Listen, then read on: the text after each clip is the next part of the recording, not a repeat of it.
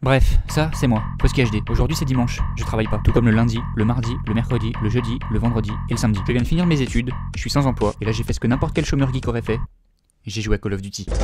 J'ai allumé ma Xbox, j'ai regardé dans ma liste d'amis, il y avait personne en ligne. J'avais les boules. Je me suis dit que j'allais jouer tout seul comme un gland. C'était pas si grave. J'ai lancé le jeu, j'ai lancé une partie, je suis arrivé dans une partie en cours, et je suis tombé sur lui, lui, lui, lui et lui. On les appelle des campeurs. Je sais pas pourquoi, mais j'avais une mauvaise impression d'eux. Et eux, ils devaient avoir une mauvaise impression de moi. Je me suis dit, Oh, ils vont bien bouger un jour. ils ont pas bougé. Je me suis donc dit que j'allais les contourner. Ça a pas marché. Je me suis dit que j'allais changer d'arme. Ça a pas marché. Et là, j'ai fait ce que n'importe qui aurait fait. Non, pas ça. Je crois connaître. Non, pas ça. J'ai rage quit. J'ai cherché une autre partie. C'était pareil. J'ai rage quit une deuxième fois.